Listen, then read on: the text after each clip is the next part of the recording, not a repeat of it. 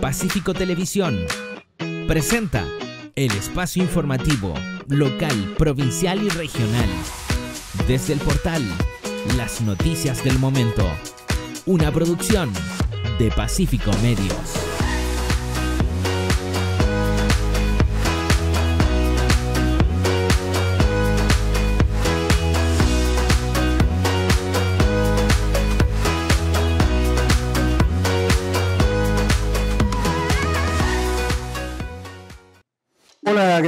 ¿Cómo están? Bienvenidos a una nueva edición de nuestro espacio informativo desde el portal a través de Pacífico Televisión en el canal 764 en la grilla digital de la empresa Mundo.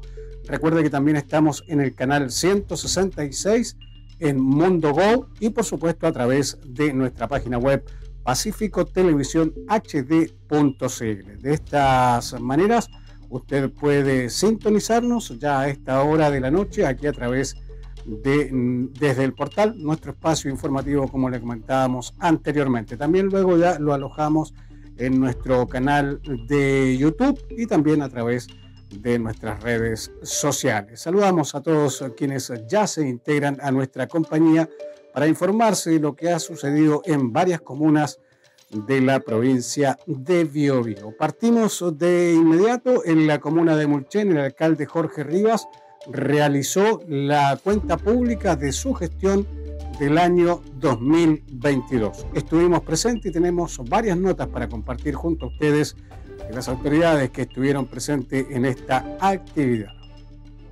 Autoridades presentes, público asistente, quiero primero que nada saludarles agradecerles en esta lluviosa y fría mañana que nos puedan acompañar en la rendición de esta cuenta pública año 2022.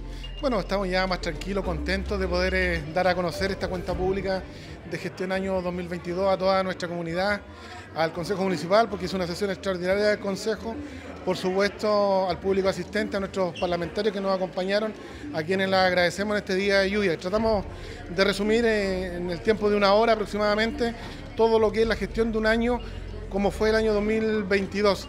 Eh, sin embargo, eh, hay muchas cosas que obviamente no, no se pueden eh, incorporar en esta presentación, las cuales quedan en un libro que está en nuestra página web y yo me siento muy contento, agradecido del trabajo que estamos realizando con todo nuestro equipo porque esto es fruto del esfuerzo, es fruto de la perseverancia y por supuesto de enfrentar cada desafío que nos colocamos día a día, de creer en nuestros sueños y de lograr soluciones para nuestra gente. Y eso obviamente nos deja contentos de tener hoy día un Mulchen distinto, un Mulchen mejor, un Mulchen que crece y que se desarrolla para todas sus... Sí, claro, tenemos un programa de Chile Quiero mi barrio, que son casi mil millones de pesos que deberían invertirse en el sector de Bilbao, Barro Arana, el acceso norte de nuestra comuna de Mulchen, más semáforos, más ciclovía, más espacios públicos, más espacios deportivos, como la construcción de una cancha de patinaje que tenemos en desarrollo, la construcción de canchas de pádel, pero también mejores graderías, mejor iluminación, más canchas de fútbol, para otras disciplinas también, canchas de tenis techada, entonces más parques, son espacios que van a estar en mejores condiciones. Mulchen, como te digo, se desarrolla, crece con mejores espacios públicos, mejores espacios deportivos, más sedes para las organizaciones y en definitiva más eh, soluciones de vivienda como eh, acabo de señalarlo con los 140 departamentos sociales, pero también queremos un cuartel en mejores condiciones del cuerpo de bomberos y también queremos un hospital de mediana complejidad porque Bulchen y toda la provincia del Biobío lo merece. Así que estamos contentos de poder cumplir con este mandato que obviamente la ley orgánica constitucional de municipalidades nos exige. Bueno, una cuenta que ha sido con bastante detalle, muy contundente, donde ha abarcado los principales ámbitos de lo que es el desarrollo comunal y en lo cual se han ido cumpliendo etapas y propuestas que había planteado el alcalde también en otras eh, cuentas anteriores. Y hoy día de la misma manera ha dejado desafíos que son en materia de conectividad, por supuesto en el acceso a la comuna, en también lo que es este nuevo hospital de la comuna de Mulchen, que es una situación que está tremendamente esperada por todos los ciudadanos porque resuelve un tema que es muy angustiante para esta provincia y para esta comuna, en donde tenemos que avanzar no solo en lo que es la infraestructura, sino que en la capacidad de resolutividad. Así que no hay que dejar de lado nunca que el edificio es una parte importante, pero más aún es el recurso humano y el modelo de gestión que se aplique. Así que vamos a seguir en eso, acompañando en los desafíos que vengan para todos los mulcheninos y mulcheninas.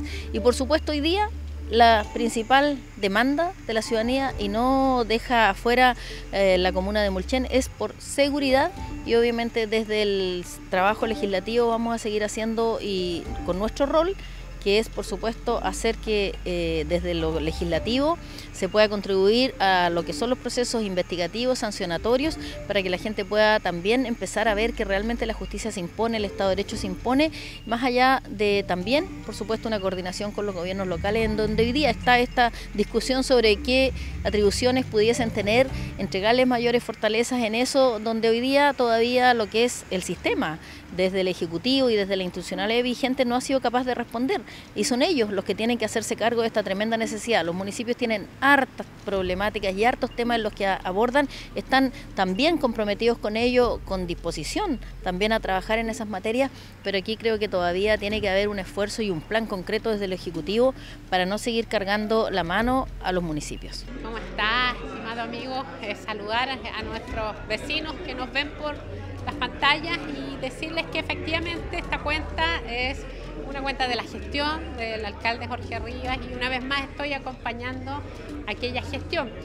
Eh, ha dado cuenta del trabajo de sus equipos, ¿cierto? En materia de salud, educación, en materia también de organizaciones comunitarias, eh, con las distintas organizaciones y hemos visto mucha inversión, muchos proyectos que se han ido concretando como en materia cultural también, así que solo felicitar a aquello, nos ha pedido algunas gestiones, especialmente eh, en lograr eh, conseguir los recursos para iniciar a futuro obras también en materia del hospital de mediana complejidad, también eh, en cuanto a lo que queremos lograr en los accesos de Mulchen, acceso norte, así que hay bastante que hacer ahí, eh, hemos hecho acciones, también nos agradeció otras gestiones que pudieron concretarse, como por ejemplo sacar adelante junto a Contraloría y al MOP el camino Mulchen-Negrete, algo que estaba entrampado ahí, lo ayudamos y salió, este es un trabajo junto a dos municipios, junto al alcalde Negrete también.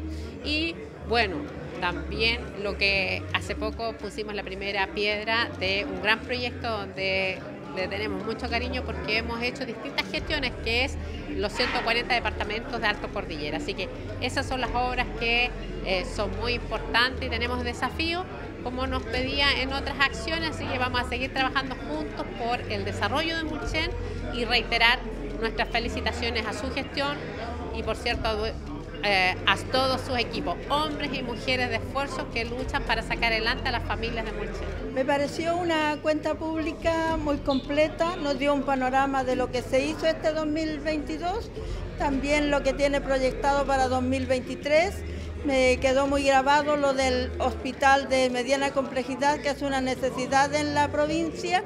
Eh, vamos a trabajar por eso y también por tener más presupuesto en lo que es el presupuesto social para los adultos mayores, para la vivienda, para eh, también eh, las calles, mejorar los barrios, también se quedó en la retina Quiero mi barrio, que es un programa que ayuda mucho a los barrios a mejorar para la convivencia y todo eso, así que fue una muy buena cuenta pública. Le deseo todo lo mejor al señor alcalde de Mulchen, el señor Rivas, y seguimos adelante en el trabajo hacia mejorar la vida de las comunidades.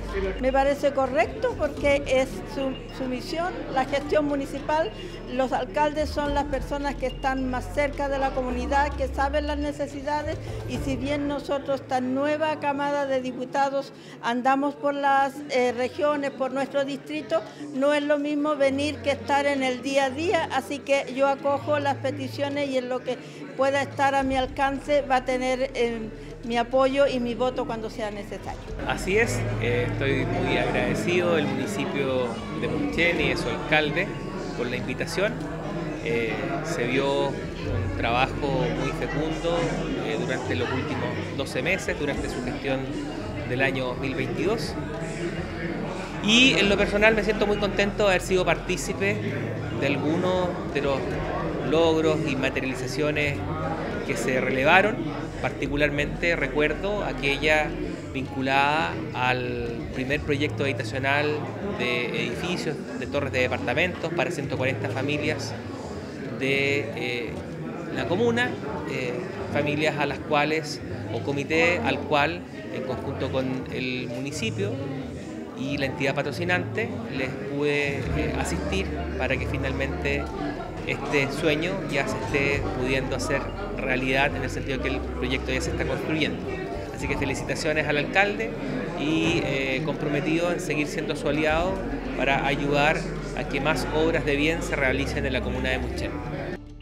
Pacífico Medios Bien, continuamos eh, compartiendo aquí a través de desde el portal nuestro espacio informativo. Recuerde que siempre tratamos de recabar la mayor cantidad de noticias, de informaciones para poder compartir junto a ustedes. En estos días bastante relacionada con el mundo político, también con las municipalidades, debido a que hasta el 30 de abril tienen eh, los alcaldes que hacer la rendición de su cuenta pública y muchos prefieren ya eh, a partir del día jueves eh, porque los parlamentarios, principalmente diputados y senadores, se encuentran en el distrito.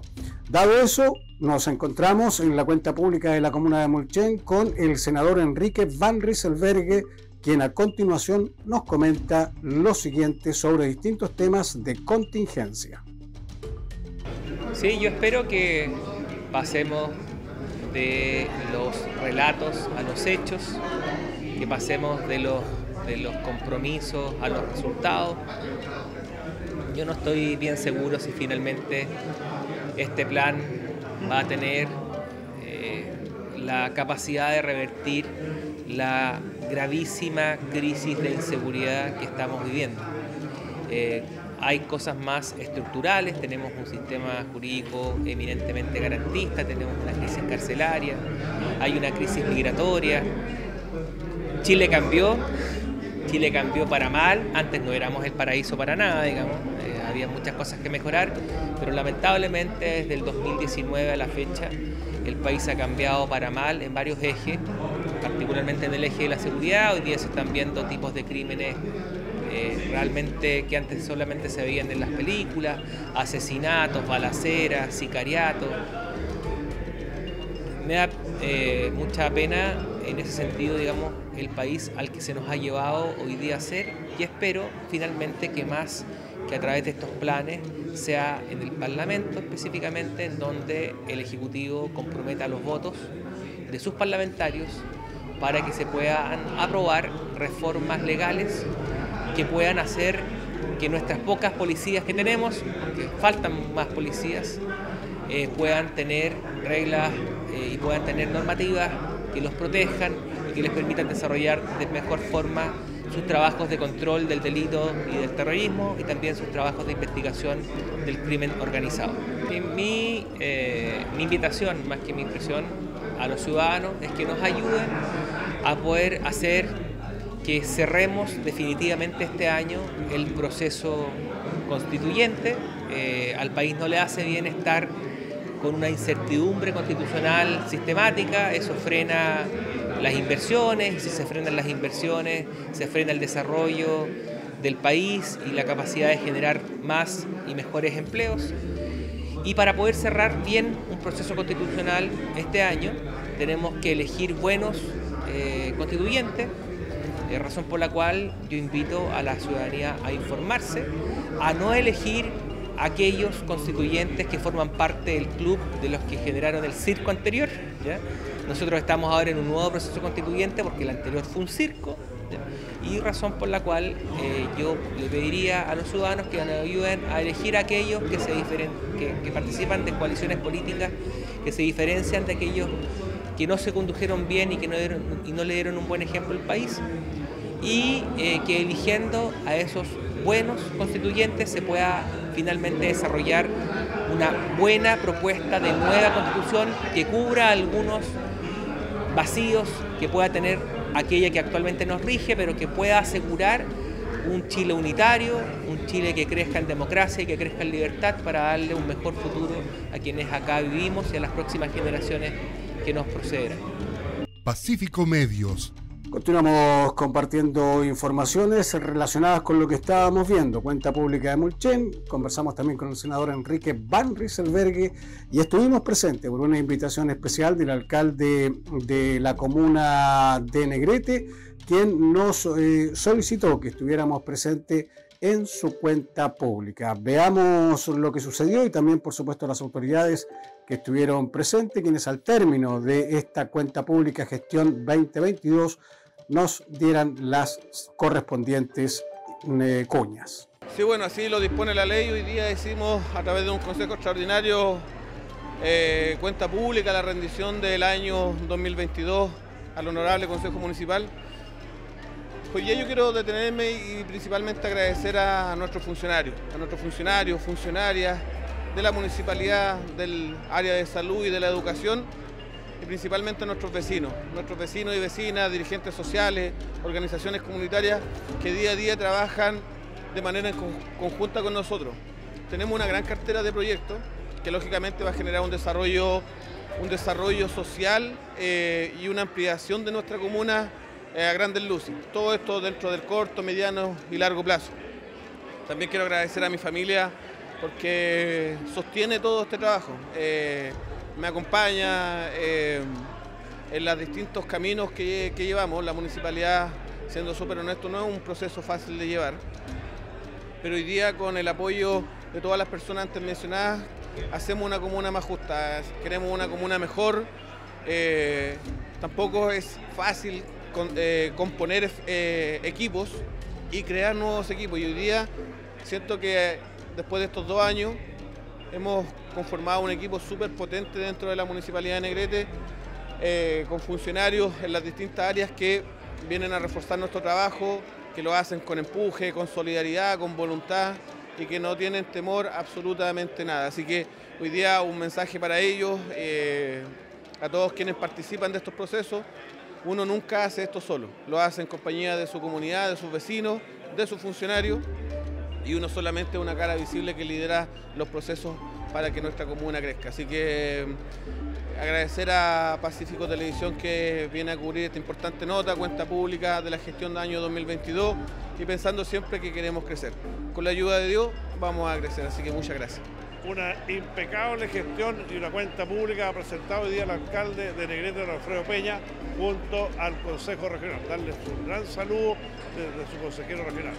Aquí el gobierno regional también ha puesto grandes recursos y ha puesto gran empeño para que esta comuna pueda acceder a grandes recursos y ir mejorando la calidad de vida de todas las personas. Aquí se ve justamente la transparencia del alcalde y ha sido una forma didáctica de mostrar su cuenta pública. Y eso se ha manifestado justamente en que los asistentes a esta cuenta pública lo han aplaudido de forma unánime, ¿cierto? Y de pie esta cuenta pública. Así que me voy muy contento, nos retiramos hoy día y feliz de poder apoyar con un granito de arena a esta gestión municipal.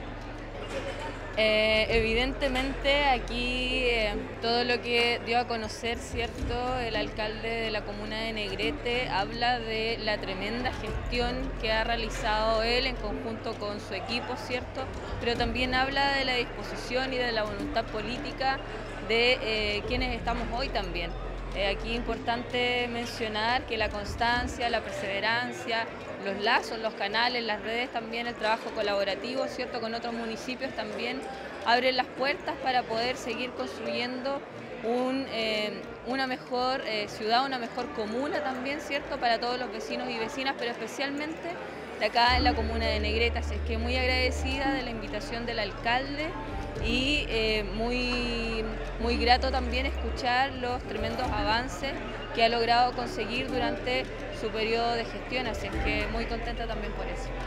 Para nosotros era importante poder estar hoy día en la cuenta pública de la comuna de Negrete, hemos estado de manera permanente en la comuna, bueno, durante el periodo de la contingencia. Fuimos el enlace del gobierno de la comuna, por lo tanto desde allí establecimos relaciones bastante cercanas que nos ha permitido de algún modo seguir empujando, sobre todo materias que tienen que ver con nuestra cartera, así que vamos a seguir trabajando en la comuna de Negrete, el alcalde dio una cuenta impecable respecto a la gestión, que de verdad ha sido impresionante los avances que han tenido en distintas materias y muchas de esas materias tienen que ver justamente materias de género, materias que tienen que ver con mejora en las condiciones de vida de las mujeres. Así que estamos muy contentos de estos resultados y vamos a seguir acompañando y trabajando junto a la comuna de Negrete. Bueno, hemos asistido a una impecable cuenta pública en que la capacidad de gestión del alcalde Alfredo Peña, junto con su consejo municipal y funcionarios, han eh, apalancado una gran cantidad de recursos hacia la comuna, lo que indica que eh, el proceso de desarrollo de la misma se puede ver con optimismo y esperamos que le siga yendo bien, deseamos éxito y que continúe por esta senda de progreso y en lo que nosotros nos compete como gobierno, lo vamos a estar apoyando en todo lo que requiera en términos de estudios, inversiones y gestión. Impecable cuenta pública de nuestro alcalde Negrete, le quiero, lo quiero felicitar. Dejó la vara muy alta para quienes tenemos todavía que darla. Nuestra cuenta pública es el miércoles, ¿cierto? A las 6 de la tarde en la ciudad de Cabrero. Solamente felicitar al alcalde, a su equipo municipal tremenda inversión para este año, para el año que viene y por supuesto el trabajo de nuestros funcionarios municipales. Un abrazo al Consejo Municipal, a los dirigentes, a todo Negrete, a seguir trabajando para que esta hermosa comuna siga creciendo. Sí, bueno, primero que todo quiero agradecer al alcalde Alfredo Peña por la invitación a su cuenta pública. Quiero felicitarlo por el gran trabajo que ha hecho durante este periodo del 2022. Agradecerle felicitarlo. Ha sido un trabajo arduo eh, donde ha apalancado muchos recursos para la comuna. Está muy claro los ejes que él eh, está desarrollando en la comuna y la cercanía con la gente. Así que yo lo felicito, que todo está saliendo bien y por el beneficio de los negretinos y negretinas. Así que un fuerte abrazo a nuestro amigo alcalde Peña por esta tremenda labor y gestión que está realizando acá en Negrete. Bueno, primero feliz de poder acompañar al alcalde Alfredo Peña en su contundente cuenta pública a la comuna de Negrete, representando a nuestro gobernador Rodrigo Díaz, y felicitar a su alcalde, a su consejo, a su equipo de funcionarios, a toda una comunidad organizada, porque efectivamente eh, han tenido eh, grandes logros que han permitido y van a permitir en los futuros proyectos mejorar aún más la calidad de vida de, la comunidad de Negrete. Y en particular nuestro gobierno regional sin duda que es un apoyo importante para los municipios. El 60% de los proyectos que eh, eh, aprueban para las distintas comunas de la región son recursos del gobierno regional. Y con la mirada de nuestro gobernador y su consejo regional ha habido una mirada mucho más equitativa de poder apoyar todas las comunas eh, no importando el color político, porque el foco de nuestro gobernador y su Consejo Regional está puesto a las personas de la región. Así que feliz de estar presente en esta cuenta pública y felicitar a su alcalde por esta brillante cuenta pública y a quienes son sus colaboradores, porque esto no se hace solo. Nosotros aportamos con recursos por ahí un trabajo y poder levantar cartera de inversión eh, con los equipos y, por cierto, eh, de una comunidad que también levanta la demanda. Así que felicitaciones a su alcalde y a todo su equipo y a toda su comunidad. Sí, bueno, primero que todo, dar las gracias al Consejo Municipal y a nuestro alcalde y amigo Alfredo Peña por su magnífica y excelente cuenta pública de la inversión que ha traído a su comuna 2022 de los como siempre digo yo, los, alcaldes buscando recursos en los diferentes estamentos del Estado y como gobierno regional no hemos querido tampoco estar ausentes. Y como bien lo dice usted, en lo que es materia deportiva hemos aprobado desde el gobierno regional bastante complejos deportivos multicancha para así poder sacar a nuestros niños de las drogas, el alcohol, lo que es el sedentarismo hoy en día gracias a la tecnología digital, ya que nuestros jóvenes eh, tienen poca actividad, así que la idea es poder fomentar el deporte en toda nuestra región y sobre todo en la provincia del Biobío, a cuales representamos a las 14 comunas. Eh, quiero destacar el gran trabajo del equipo SECFLAC y del Departamento de Salud y Educación, porque bastantes recursos ingresaron a, este municipio tras la gestión de, esos dos estamentos que están bajo la administración municipal y también de las diferentes divisiones del municipio que hacen que hoy en día Negrete tenga bastante inversión pública y que sin duda ayuda a mejorar la calidad de vida de cada una y uno de esta hermosa comuna de Negrete.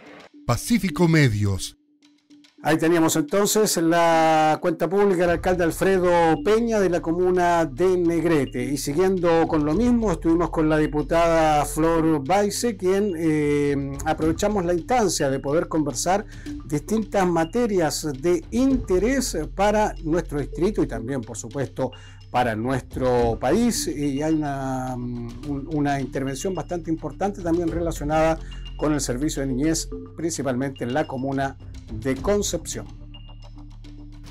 Bueno, eh, el otro, mire, nosotros tuvimos una comisión de la Comisión de Desarrollo Social en la, eh, que estuvo en la provincia de Concepción y también hay una comisión investigadora, una comisión investigadora para el Servicio Mejor Niñez porque han habido demasiadas irregularidades, desprolijidades es poco, negligencias, incumplimiento de la normativa, derechamente, para tratar a nuestros niños, niñas, adolescentes. Aquí se ha dicho por todos los gobiernos que nadie se hace cargo de eso y todos han puesto a los niños en primer lugar de la fila y en general no ha habido mucho avance. Hoy día se le ha cambiado solo el nombre a este servicio, que era el Sename, pero la verdad no vemos ninguna mejoría. Al revés, vemos un retroceso, porque hoy día, frente a los hechos como ese, ese grave adolescente que está a riesgo de vida en Concepción frente a ese incendio, en Santa Bárbara, donde murió un niño por la residencia, en donde el hogar El Nido, recordemos, el Carlos Macera en Concepción, en Curanilagua, otros hechos. Entonces, ¿cuál ha sido la solución? Hoy día se están cerrando los centros de atención sea para los eh, vulnerados como los infractores de ley.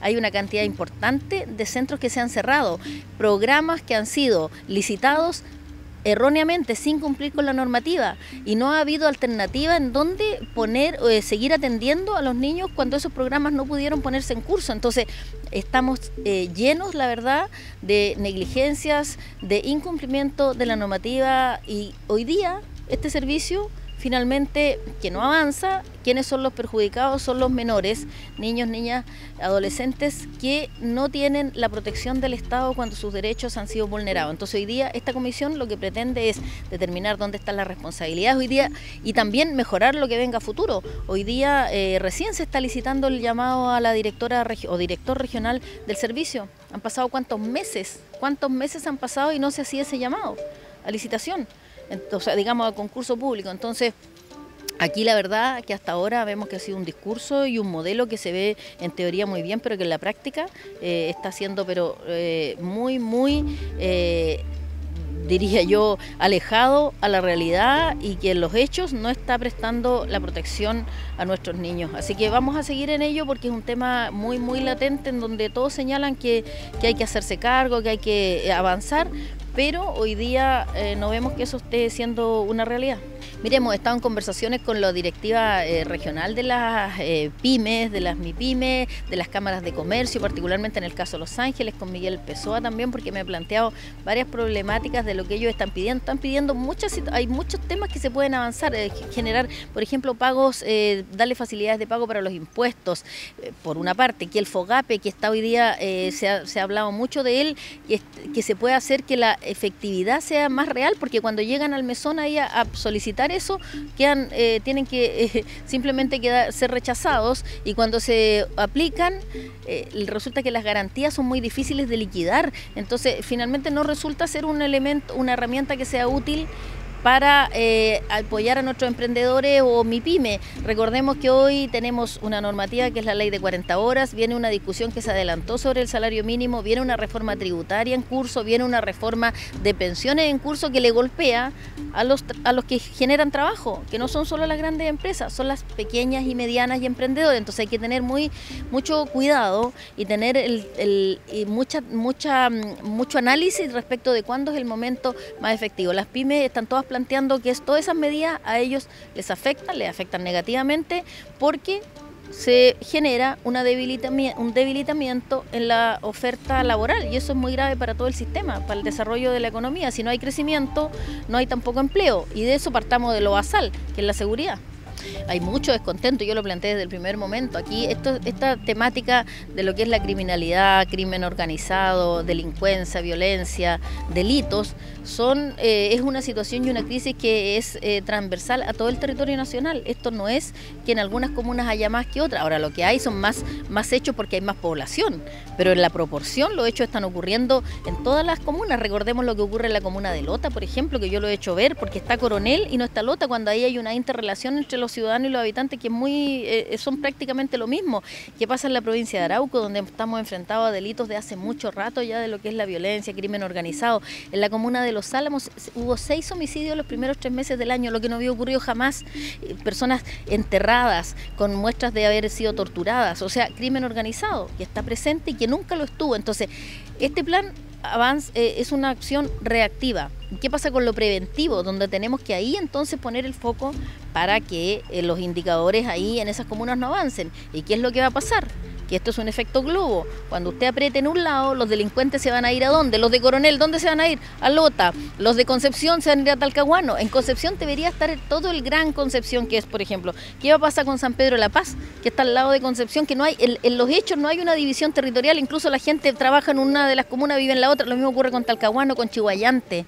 Entonces aquí falta tener un análisis y un sentido de realidad en la aplicabilidad de estas medidas que por supuesto se agradece las comunas que están, como no, como es el caso de Los Ángeles, donde los indicadores de homicidios han aumentado de manera brutal, narcotráfico. Pero ¿qué pasa con las comunas aledañas? Ahí se van a ir los delincuentes. Entonces eso es lo que hay que pensar, quienes diseñan esto tienen que pensar que en los hechos esto va a tener un efecto negativo para las comunas que no lo están y tienen todo el derecho y la razón al reclamarlo y hacer y pedir que ellas también se integren. Yo lo he hecho y lo vamos a seguir haciendo, por supuesto.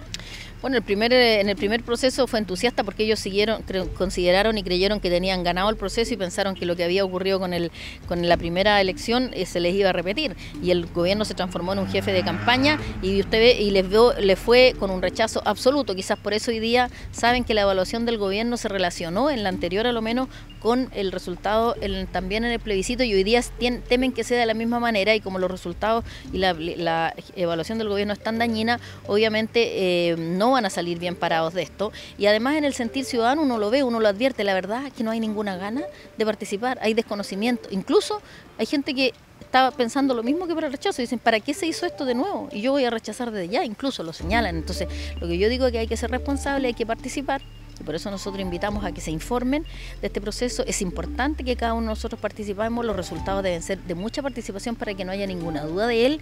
Y obviamente que hay que leer el texto primero, depende de quienes resulten electos, un texto que ojalá también se pueda aprobar en mayoría bien contundente de manera que este capítulo tan doloroso para Chile se cierre y empecemos a mirar con optimismo y con esperanza lo que se viene en adelante con un proceso que haya sido participativo, de diálogo, eh, donde se escuchen a todos y donde sobre todo nosotros queremos que nuestros candidatos de nuestro sector, de Chile Seguro, sean los mayoritariamente para que se defiendan ahí las ideas de la libertad, las ideas de un Chile único, las ideas de un solo sistema de justicia, las ideas del derecho a la propiedad y el derecho a, poder vivir libre y en paz, que hoy día es lo que está muy vulnerado, pero para eso hay que participar y hay que informar. Hoy día el gobierno, la verdad, que se ha metido bastante poco. ¿Por qué? Porque tienen miedo de los resultados, porque saben que si ellos incorporan, se incorporan, se va a asociar a los candidatos que ellos representan y francamente yo creo que eso le hace un daño que el gobierno participe. Ahora el gobierno lo que no puede hacer es hacerse hacer cuando las cosas le gustan a ellos, están. Cuando no, cuando las ven dañinas, se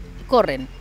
La vez anterior hicieron campaña, cerraron la moneda para salir a hacer campaña. Hoy día lo que necesitamos es que informen y que los servicios involucrados para ello, que es el CERVEL en este caso, no la Secretaría de Gobierno como lo hizo antes, donde hicieron campaña derechamente en los libros y toda la documentación que había era ya tendenciosa y partidaria derechamente en campaña. Bueno, hoy día informen del proceso y que lo hemos pedido que el CERVEL revise nuevamente la distribución de los locales, porque a los, sobre todo adultos mayores, los han dejado a no sé cuántos kilómetros de distancia de sus casas. Y eso no contribuye a que haya una participación, por supuesto. Nosotros lo dijimos en el proceso anterior, donde ya se vieron estas eh, errores, en donde había gente fallecida, en donde estaban a mucha distancia. Eso son limitantes que se ponen a la participación ciudadana. Y necesitamos que en esta elección, que va a ser tan impactante y tan, eh, digamos, señera para lo que se nos viene, haya una participación que sea de verdad contundente. Así que el gobierno y el CERVEL tienen que hacer la pega, simplemente que es informar y facilitar las condiciones para la participación. Pacífico Medios. Continuamos compartiendo desde el portal a través de Pacífico Televisión en una producción de Pacífico Medios. ¿sí? Recuerdo que tenemos distintas alternativas para poder informarle a ustedes. La invitación es para que nos pueda seguir a través de nuestras redes sociales. También está nuestra página web, Pacífico Televisión HD.cl. Está nuestra radio online también y por supuesto eh, nuestra, en nuestra página web está nuestro canal completito, ahí las 24 horas del día vía streaming, donde si usted no pertenece a la empresa Mundo, igual puede disfrutar de nuestra programación e informarse con los distintos programas que vamos entregando al aire día a día. Le recordamos también que usted nos puede escribir a nuestro correo electrónico contacto arroba pacificotelevisión.hd.cl. Vamos a ir a noticias regionales. Le comentamos de inmediato que el frío continúa y en esta época tanto el gobierno regional como eh, el Hogar de Cristo y los distintos alcaldes donde estos hogares funcionan comienzan ya a darle alojamiento a distintas personas de la región. Veamos la siguiente nota. Hay muchas personas que viven en la calle todavía y cada año ingresan más personas a la calle los esfuerzos que hace el Estado de Chile son insuficientes para sacar. Por eso necesitamos eh, las manos y la expertise de todas aquellas organizaciones de la sociedad civil que nos ayuden a acoger con cariño, con dignidad a las personas que están en situación de calle y ojalá trabajar en la resolución de aquellas causas que los llevaron a la calle. En el hogar de Cristo hay un aliado permanente en esta materia, eh, tanto desde la eh, vocación impartida por, su fundador, el padre Alberto Hurtado, como por el trabajo profesional y expertise que han ido adquiriendo los equipos de profesionales y monitores que aquí trabajan. Eh, nosotros como gobierno regional nos sentimos muy contentos de poder colaborar a que eh, vía este programa que se está partiendo en el día de hoy, haya una cantidad importante de vecinos de, que habitan principalmente en Los Ángeles y en la ciudad de Concepción que puedan ser atendidos acá.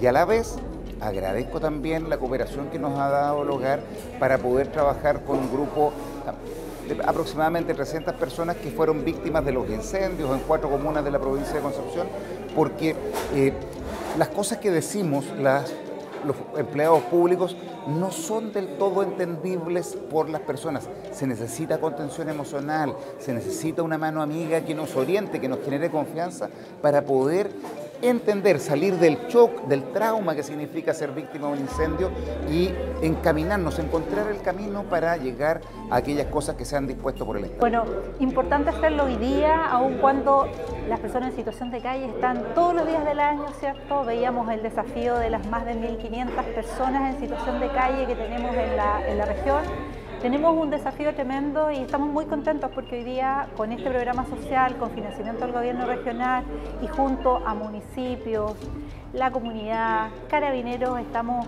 haciendo posible que las personas en situación de calle de algún modo se visibilicen, pero además profundizar el servicio que estamos entregando entregamos techo, abrigo, ¿cierto? Acá, pero además hacemos un trabajo muy fuerte psicosocial que se viene a complementar hoy día con este programa. Incorporamos terapeuta ocupacional, psicólogos que nos van a permitir en todos los procesos de desarrollo y de retomar a los compañeros y compañeras de calle el rumbo de sus vidas. Estamos bien contentos.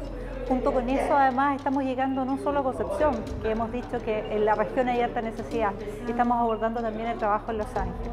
Así que esperamos que toda la comunidad además se sume porque efectivamente lo hemos dicho hoy día, las personas en situación de calle no son responsabilidad del hogar de Cristo, no son responsabilidad del gobierno regional, son responsabilidad de toda la comunidad y cómo logramos de algún modo que retomen la rienda de su vida o por lo menos estén cuidados, en especial en el invierno, por supuesto. Pacífico Medios Continuamos compartiendo a través de nuestro espacio informativo aquí en Pacífico Televisión desde el portal. La invitación es para que usted nos siga en nuestras distintas cuentas fanpage de Facebook, también en nuestros Instagram, siempre bajo el nombre de Pacífico Televisión, donde siempre, valga la redundancia, le vamos entregando información de cada una de las comunas donde estamos presentes. Saludamos nuevamente a nuestros amigos de Negrete, ya un mes que nuestra señal se está viendo en la comuna de Negrete y por supuesto también al sector rural de Santa Fe en la comuna de Los Ángeles. Un saludo para todos los amigos y amigas que por supuesto nos están viendo a esta hora de la noche, al igual que al resto de las comunas ya tradicionales donde usted nos está sintonizando. Y por supuesto a toda la gente desde Antofagasta hasta Puerto Montt, donde usted a través del sistema Mundo Go de la empresa de telecomunicaciones Mundo nos puede estar sintonizando. Vamos con más noticias. Días pasados estuvimos en el Liceo Bicentenario, en el Liceo Técnico Bicentenario Juanita Fernández Solar de la Comuna de Los Ángeles, donde se hizo una, eh, una muestra de innovación. Todo esto relacionado con la inteligencia artificial. Conversamos con uno de los profesores encargados del establecimiento, como así también con personeros de distintas universidades e institutos de la ciudad de Los Ángeles, porque se viene algo bastante importante para la ciudad angelina. Bueno, eh, queremos contarles y dejarlos cordialmente invitados ya que el 17 y 18 de mayo estamos eh, formulando las primeras jornadas interescolares de inteligencia artificial, lo cual es un tremendo desafío para nosotros, para la comuna, pero hemos decidido formar alianzas con eh, instituciones de educación superior como lo son AYEP, como son el Instituto Profesional Virginio Gómez y también con nuestro hermano que es el Liceo Industrial, con quienes estamos generando fuertes lazos para empoderar a los estudiantes con todo lo que tiene que ver con la tecnología y en particular con la inteligencia artificial. Efectivamente, eh, los jóvenes al ser eh, nativos digitales tienen mayores facilidades para poder desarrollar las habilidades del siglo XXI. Eso quiere decir que ellos tienen mayor, un, nivel cognitivo más amplio para poder desarrollar con las tecnologías sin cuestionarse y empezar a converger con ellas, lo cual facilita su proceso de aprendizaje y desarrolla mayormente sus niveles cognitivos. Efectivamente, por ejemplo, tenemos un stand donde las chiquillas están mostrando eh, Vector, que es un robot que, de inteligencia artificial que responde a comandos en inglés, lo cual ha podido facilitar a la estudiante eh, fortalecer su habilidad lingüística en el inglés y también a poder interactuar con inteligencia artificial. Por ende, el inglés diría que es el idioma global para poder comprender eh, este tipo de desafíos que vienen en camino con las nuevas tendencias tecnológicas. Efectivamente, una jornada de inteligencia artificial y robótica. Eh, la idea es, poder mostrar a los estudiantes, además de hacerle algún tipo de taller y charla, ¿cierto? Eh, para ampliar su espectro, para, para que entiendan muchas cosas, eh, para que tengan más oportunidades y vean en qué ellos realmente quieren desarrollarse a futuro. Estamos hablando que son estudiantes de enseñanza media principalmente y ellos eh, la idea es que cuando lleguen a, los estudios superiores ya tengan un enfoque claro de lo que quieren seguir. Efectivamente, o sea, si vamos, eh, si hablamos un poquito de las evoluciones o revoluciones industriales, ya muchos dicen que estamos en la revolución industrial 4.0, eh, ya en el extranjero están formando la 5.0, en las cuales las máquinas trabajan para nosotros. Ya la idea es poder eh, bajar un poquito la intensidad laboral del ser humano sin desplazarlo, pero que en este caso las máquinas comiencen a trabajar. Por lo tanto, todo esto ya está quedando. Nosotros podemos ver la inteligencia artificial en muchas partes, los traductores por voz, eh, cuando los chicos eh, activan el micrófono y el, procesador de texto escribe todo lo que van hablando la realidad aumentada también, que hoy día Amazon, por ejemplo, yo puedo comprar un producto y lo puedo mostrar en mi casa, todo eso es eh, inteligencia artificial. Y además lo vamos a complementar con robótica, que hoy día también eh, es parte es parte de lo que estamos viviendo en todos lados, lo que también puede llevar a, a la automatización industrial y todo ese tipo de cosas. Formamos una alianza estratégica con el Liceo Técnico acá y con algunas instituciones de educación superior en donde estamos tratando de, integrar a los jóvenes para que muestren las cosas que ellos hacen en sus establecimientos. Yo vengo del Liceo Industrial, soy exalumno de allá y por casualidad de la vida llegué a trabajar nuevamente a darle vuelta la mano. Y la idea es que los chiquillos aquí muestren lo que ellos hacen allá. Pues tenemos las cosas que trajimos el día de hoy, son netamente construcción de ellos. Algunas maquetas que vienen prefabricadas, pero la, mayor cantidad de las cosas son, son cosas que ellos mismos han fabricado y vienen a presentar que es básicamente llevarle como a la par a la tecnología 4.0 que vamos viendo hoy en día. Por supuesto, es mucho más amigable, porque ellos tenemos que, tenemos que entender nosotros que la generación de ellos son nativos digitales. Entonces, para ellos es mucho más fácil aprender y este tema de lo interactivo es mucho más, es mucho más interesante para ellos que, que, que lo rigidez de lo antiguo. siempre hay que estar, hay que estar tratando de, tenerlos a la par con la tecnología. Un poco los medios nos limitan un poco, pero eh, si el, profesor y el docente, si encontramos recursos, ¿cierto? Nos da la posibilidad, por supuesto hay que mantenerlos ahí, pero sí, de mi parecer, los chiquillos aprenden mucho más porque es algo mucho más interactivo, mucho más interactivo. Pacífico Medios. Continuamos compartiendo informaciones. Recordarle que usted, amigo que, o amiga que pertenece a alguna junta de vecinos, a algún comité de adelanto, a algún APR, a algún club deportivo, nos puede contactar a nuestro correo electrónico contacto arroba Pacífico Televisión HD y de esta manera nos hace llegar aquella información que usted quiere que nosotros transmitamos a través de las pantallas de nuestro canal local, en nuestras distintas plataformas, en los distintos canales que nos provee la empresa de telecomunicaciones Mundo para poder darla a conocer. Vamos a la siguiente nota en la ciudad de Concepción y con la presencia del subsecretario del Interior, Manuel Monsalve, se firmó un importante convenio entre el gobierno regional, el gobierno central y también la Policía de Investigaciones. Eh, muy buenas tardes, muchas gracias por su presencia. lo que acabamos de hacer hace unos minutos atrás es suscribir un convenio muy importante que compromete al gobierno regional y a la Policía de Investigaciones para que en el curso de seis años podamos materializar la construcción de infraestructura muy relevante en las tres provincias de la región.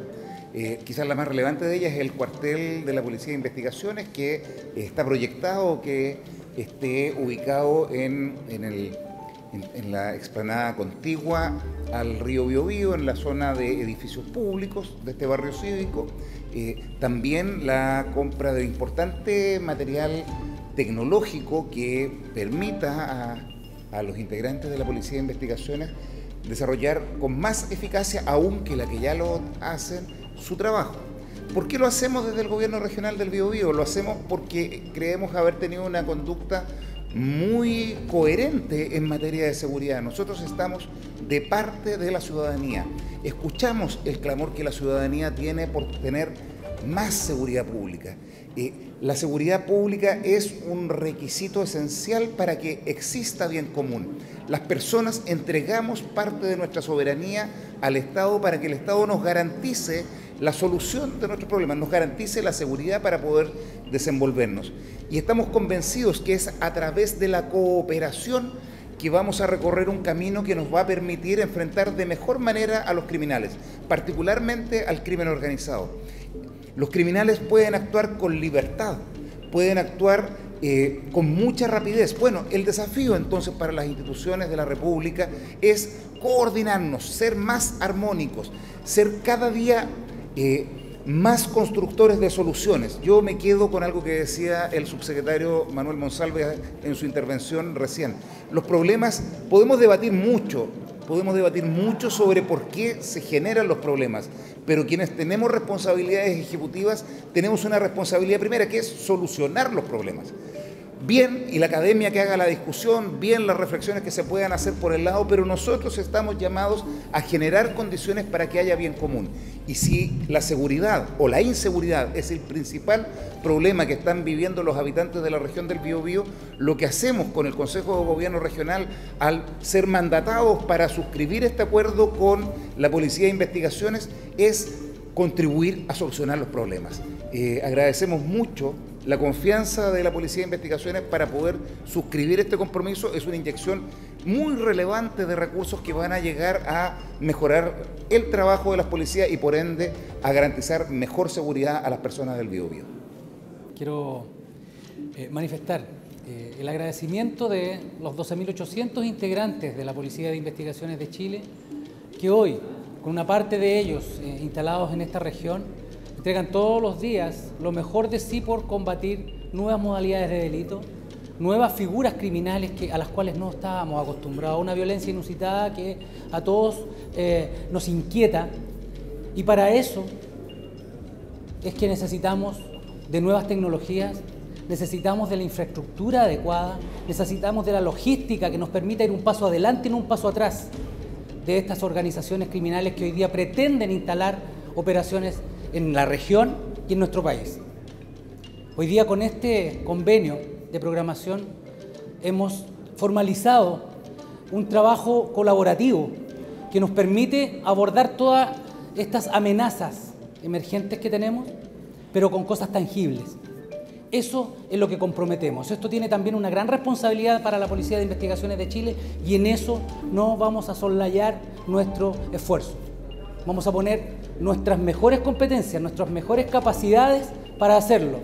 Por lo tanto, esta inyección de recursos, este apoyo de infraestructura, este apoyo material de herramientas que nos permiten combatir el crimen organizado, estas nuevas modalidades de delito que están aflorando permanentemente, es el, real sentido que tiene de la colaboración a nuestra institución para hacer un trabajo efectivo en ello. Así que agradecer al gobernador regional por su voluntad, al subsecretario de Interior que siempre nos ha estado apoyando en estas iniciativas y que nos permiten desarrollarnos, mejorar nuestras capacidades, seguir creciendo como Policía de Investigaciones de Chile, que es lo que la gente demanda y necesita en la región y en el país. Estamos aquí el gobernador eh, regional, está el director nacional de la Policía de Investigaciones, está el delegado presidencial regional subrogante, pero también en la actividad estaban los consejeros y consejeras regionales, habían alcaldes y alcaldesas, habían parlamentarios de la región del Biobío. Y quiero destacar eso porque lo primero para enfrentar la seguridad, lo primero que se requiere es un Estado coordinado que colabora entre sí y que trabaja para garantizar la seguridad de las personas. El convenio entre el gobierno regional y la Policía de Investigaciones que quiero reiterar y valorar eh, respecto al convenio son 113 mil millones de pesos. ¿Para qué son los 136 mil millones de pesos a propósito de 113 mil millones de pesos a propósito de la pregunta? Podríamos detallar los proyectos, pero son para que en la región las personas tengan más seguridad. Son para que en la región del Biobío no haya impunidad. Porque la principal función de la policía de investigaciones, los cuarteles que se van a construir, la tecnología de la cual se le va a dotar, el equipamiento y los vehículos que van a permitirse financiar son para la investigación criminal. Son para que cuando haya un delito, este delito sea investigado, sus responsables sean identificados y sean sancionados. Lo que se está haciendo es firmando un convenio para dotar a la región de las capacidades de garantizarle a sus ciudadanos de que en esta región no va a haber impunidad, que van a haber capacidades suficientes, tecnológicas, de equipamiento y humanas para perseguir el delito, para identificar a sus responsables y para sancionarlo. Hay varios proyectos de los cuales se mencionan, yo permítame destacar, tal vez no los cuarteles, que son muy importantes, pero tal vez dos o tres que desde mi perspectiva son muy relevantes. Financiar un sistema de identificación biométrico es un salto cualitativo en las capacidades del Estado. No voy a profundizar en ello, pero hoy día no hay sistema de identificación biométrico en la región. No es posible comparar un rostro con una base de datos para buscar a la persona que cometió el delito. Ese es un salto sustancial en términos de las capacidades para dotar de seguridad a la región. Permítame dar un segundo elemento, el fortalecimiento del, del equipamiento para los laboratorios de criminalística. Llegar al sitio de suceso y tener equipamiento para recolectar la evidencia necesaria para identificar al responsable del delito es también un avance muy importante. Y a veces se menosprecia la capacidad de la aeronave que está incluida en el... Pero hoy día los delitos se cometen en distintos lugares. Hay que mover equipos especializados de un lugar a otro. Y eso no es posible hacerlo con el tiempo y con la oportunidad que se requiere sin tener disponibilidad de transporte aéreo. Entonces, hay aquí en este convenio elementos sustanciales en términos de mejorar las capacidades de la región y yo quiero reiterarle, gobernador, a través suyo, a los consejeros y consejeras regionales del gobierno regional eh, los agradecimientos y por supuesto reiterar los agradecimientos al trabajo que hace la Policía de Investigaciones. Pacífico Medios Continuamos compartiendo informaciones locales de cada una de las comunas donde estamos presentes, también provinciales y por supuesto regionales. Un lamentable hecho se dio a conocer ayer cuando comenzaba la tarde del día domingo tras capotar una avioneta que iba con destino a la isla Mocha. Veamos el reporte que tenemos de esta triste y lamentable noticia para los amigos lebulenses a quienes por supuesto le enviamos nuestras condolencias. Eh, a las 14.30 horas aproximadamente del día de hoy, domingo, eh, el alcalde de Mar de, Isla Mucha, tenemos personal nuestro en esa isla de forma permanente, recibió la información de lugareños que había, había un accidente trágico por parte de una aeronave que hace pocos minutos había despegado desde la isla eh, y que había caído al mar.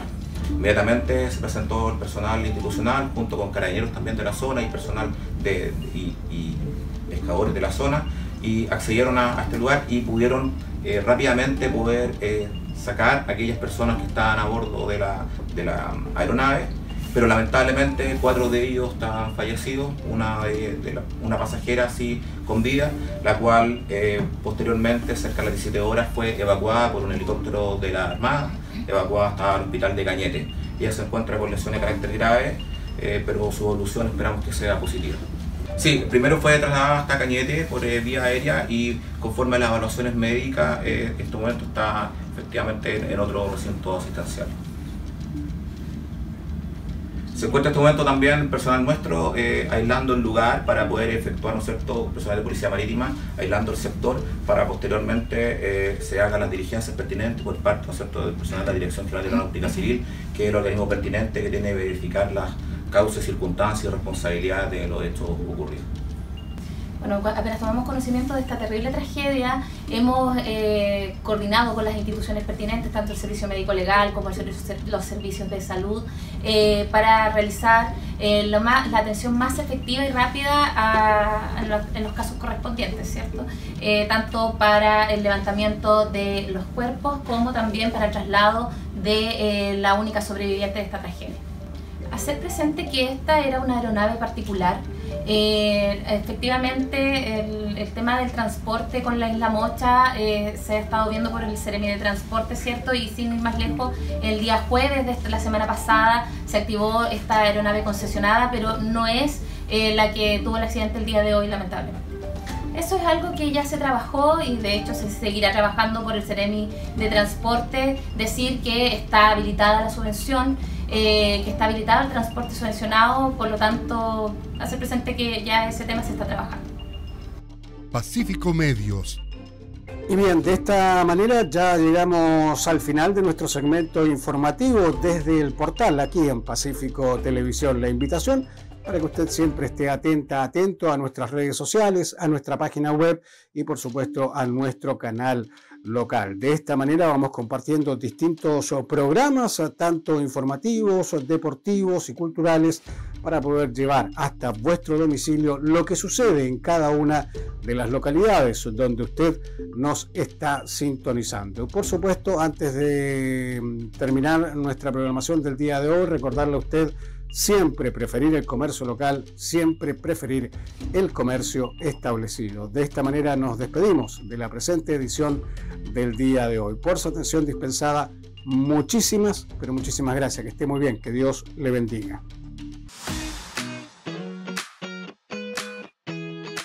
Pacífico Televisión presentó el espacio informativo local, provincial y regional desde el portal las noticias del momento.